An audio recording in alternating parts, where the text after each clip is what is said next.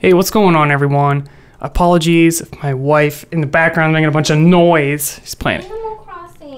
playing Animal Crossing. Apparently, it's really important. So, anyways, we're going to be going through our review. I actually thought about teaching you guys how to reverse a list in another way, but then I figured I'd just wait and stop being a troll. So, we're just going to go through this notes, which you can find up on my GitHub, Caleb Curry, uh, GitHub slash Caleb Curry. And the very first thing is inserting into the middle of a list. So, all you do is you say insert, you put the index and the data you want to insert. So, we'll go through this output starting right here and you can see Wednesday goes in the correct position. If you want to take a day out, all you have to do is say remove. In this case, we removed Saturday and it's gone. We also don't have Wednesday anymore because I took it out of there. So since we're not inserting it, we just left it out and removing Saturday deletes it and it affects the list so you don't have it doesn't return a new list. You can also remove by index, so we can say del, pass in an index such as 0, which will get rid of Monday, thank goodness. I'm just kidding. I actually like Monday. Where most people were like, Monday. Like Monday is the day to get fired up and, you know, go into work and get stuff done. All right. Anyways, you can also use pop, and the magical thing about this is it's going to return the thing that you popped off of the list. So we pass in the index one. That's going to say Tuesday, so we can use that and say you removed Tuesday. We assigned it to a variable in this case and then used it later. You can also use del with slicing. So in this case, we remove the first two elements, index 0 and index 1. I've said this probably 37,000 times, but this is not inclusive, so index 2 is not included. It's exclusive. So doing this now, and you're going to get you're going to get Thursday, Friday, and Saturday. Next up, we can remove the last two elements, starting two from the right and go to the end, and that's going to leave us with just Thursday because we get rid of Friday and Saturday. So if these are our work days, now we're just down to working one day a week, which is pretty nice. Next up, we're going to remove all occurrences in a list. And here's what we're going to do. We're going to say backpack.remove to remove one of them. And heck, why don't we just do this in a loop? Looks like we have backpack.count, but I think a better way to do this would actually be while pizza slice in backpack. That way we only have to go until we see one pizza slice. We don't have to count every single occurrence. I'm gonna run this just to get the most updated output. This first remove does remove a pizza slice, but only that first one there. If we wanna remove them all, we use that loop, which does in fact remove every single occurrence of pizza slice. This is not the most optimized solution, so I teach you a better solution in this example right here. This one we're using a for loop and we're actually using a copy so the indexes don't get messed up. And when we do this, we remove the element from the original backpack variable. So the items come from the copy and we remove them from the original backpack. And I'm gonna add a print in here so we can print backpack here just to make sure it works.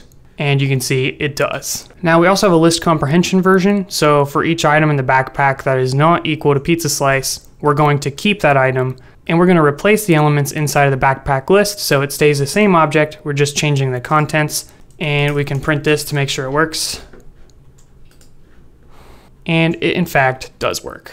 Next up, I teach you how to reverse a list. So we're going to go back to this original backpack list with a bunch of pizza slices. And the easiest is to say backpack.reverse. This will modify the original list so it doesn't return anything. We just say backpack.reverse by itself. And then we can work with backpack just by using the backpack variable.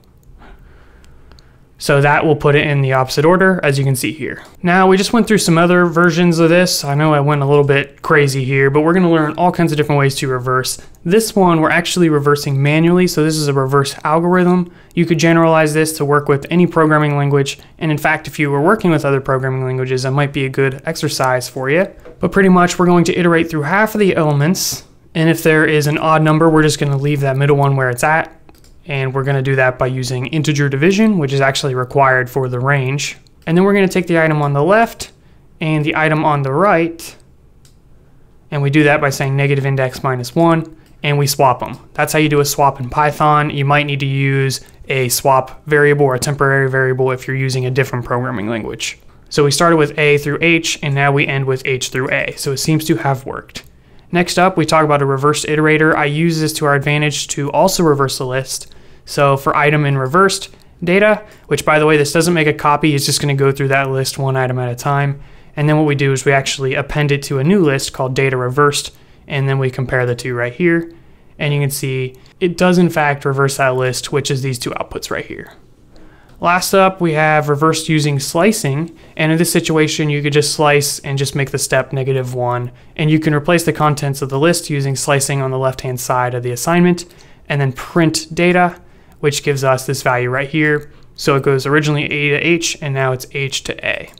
So those are a bunch of different variations of reversing. If you need to reverse nested lists, I'm sure there's a solution on how to do that on the internet. Just do a little bit of research. But for now, I think we've covered pretty good basis. So that is your review of all the stuff we've talked about lists and reversing lists, and now we're going to move on to a new section. You're probably sick and tired of lists, but good news, we're actually going to talk about them even more. But in this time, we're not going to be talking about reversing lists, we're going to be talking about sorting, how sorting works in Python, and we're going to end up applying that to lists. So if you're not sick of lists yet, by the end of this next section, you probably will be, but I do encourage you to get through it because as soon as it becomes annoying and you're kind of tired of doing it, that's when you're probably going to be learning the most and using the most concentration. So we're going to get through this and we're going to have a good time. Ain't that right, Aaron?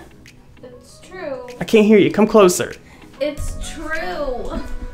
Stay with it, y'all. I'm doing all this editing for no reason. There we go. She has spoken. Don't quit, guys. Be sure to subscribe, and I'll see you in the next one.